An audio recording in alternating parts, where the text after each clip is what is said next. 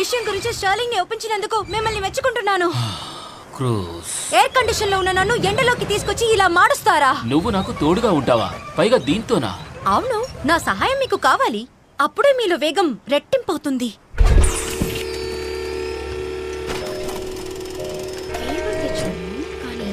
నాకు ఇక్కడ ట్రైనర్ అవసరం లేదు క్రూజ్ ఇలా చూడండి ఒకవేళ మీరు మట్టిలో ఇరుక్కుంటే ఎవరు సాయం చేస్తారు? నేను గుర్రం లాంటి వాణ్ణి. కింద పడినా వెంటనే లేస్తాను. థ్యాంక్ యూ ఇది అందమైన చోటు. అందుకే మిస్టర్ స్టర్లింగ్ మీకు ఇక్కడ ట్రైనింగ్ ఇవ్వమని చెప్పారు. ఇది బూట్ అయిన తర్వాత ట్రెడ్మిల్ మీద మీ స్పీడ్ని నేను ట్రాక్ చేస్తాను. కుదరదు. నేను ఒప్పుకోను. నేను ఇక్కడికి వచ్చిందే ఈ ఇసుకలో శిక్షణ తీసుకోవడానికే. నేను ఇప్పుడు రేసింగ్ చేయబోతున్నాను. థ్రెడ్మిల్లో చేయడానికి బీచ్ కిందకు రావడం? అక్కడే చేసుండేవాడిని కదా. అదన్నమాట సంగతి. లూజీ ఇక మన ఆట మొదలు పెడదాం. ఫైర్ బాల్ బీచ్కి రేసర్స్ అందరినీ స్వాగతిస్తున్నాను. ఇప్పుడు మన స్పీడ్ని పరీక్షించడానికి ఇది మంచి అవకాశం. బుర్ర బుర్రని ఫినిష్ లైన్ని టచ్ చేయాలి. మీ ఫినిష్ లైన్ ఆ బ్రిడ్జ్. రైట్ ఉద్రేకంతో వేగం పెరగాలి. నేనే స్పీడ్. మీలో నిద్రపోతున్న సింహాన్ని లేపినట్టున్నారు. ఎప్పుడు మీరు ఇలాగే చేస్తారా? అవును నేను ఎప్పుడు ఇంతే. On your mark get set go.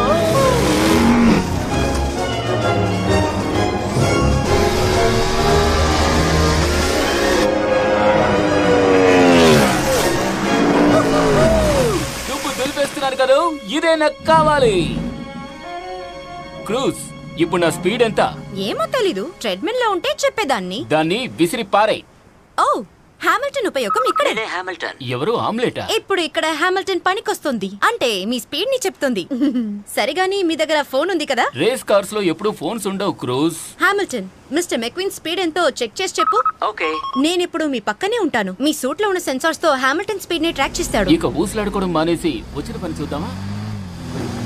ఉద్రేకంతో వేగం పెరగాలి. నేనే speed. Come on లూజీ on your mark get set and go గంటకి డెబ్బై నాలుగు కిలోమీటర్లు. నూట ఒక కిలోమీటర్లు. Out of range out of range out of range ఆ, నేను ఇక్కడే ఉన్నాను. కదలలేకపోతున్నాను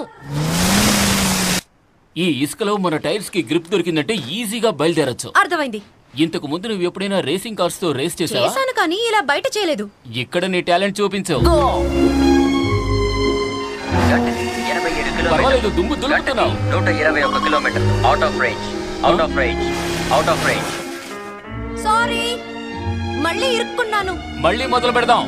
ready zone sorry go go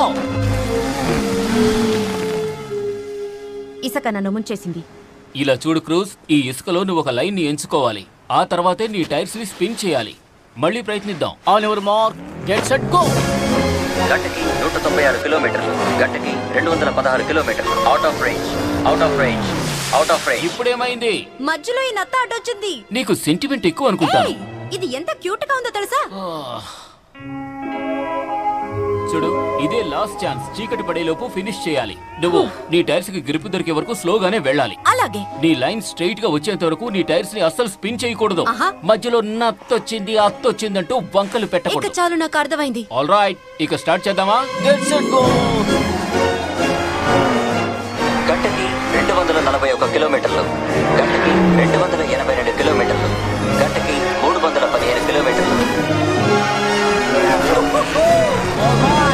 మొత్తానికి నువ్వు సాధించావు. కంగ్రాచులేషన్స్ నా స్పీడ్ ఎలా ఉంది? ఇప్పుడు మీ average speed one ninety eight. One ninety ఎయిటా? అంతేనా? స్టామ్తో పోల్చుకుంటే అది తక్కువే. ఈ రోజంతా నేను వేస్ట్ చేశాను. లేదు నాకు అలా అనిపించలేదు. ఎందుకంటే నిజమైన రేస్లో పాల్గొనే అనుభవం నాకు ఇక్కడ దొరికింది. ఇదేమి నిజమైన రేస్ కాదు. ఇదొక బీచ్. అసలైన ట్రాక్లో వెళ్తేనే నేను నా స్పీడ్ని తెలుసుకో. Thunder hollow. Thunder hollow. అక్కడ ఒక డర్ట్ ట్రాక్ ఉంది. ఇప్పుడు నాకు కావాల్సింది అదే పోటీలో నేను ఎవరినైనా ఓడించాలంటే అక్కడ రేస్ చేయాలి. లేదు అక్కడికి వెళ్ళకూడదు. రిపోర్టర్స్ కంట్లో మనం పడ్డామంటే లేనిపోని రాసి అనవసరంగా రెచ్చగొడతారు. అంతే. వాళ్ళు ఎప్పుడు అంతే. థు. నేను తప్పకుండా అక్కడికి వెళ్ళాలి గాయస్ ఈ పని నేను చూసుకుంటాను బాస్. గెటప్ మార్చడంలో నేను పిహెచ్డి చేశాను.